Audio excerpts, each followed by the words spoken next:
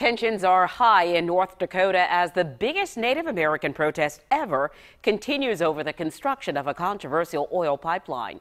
Overnight, police held the ground where they clashed with protesters near Cannonball, North Dakota. More than 140 protesters were arrested and a bridge was set on fire. 200 officers cleared demonstrators blocking a highway used to access the controversial oil pipeline.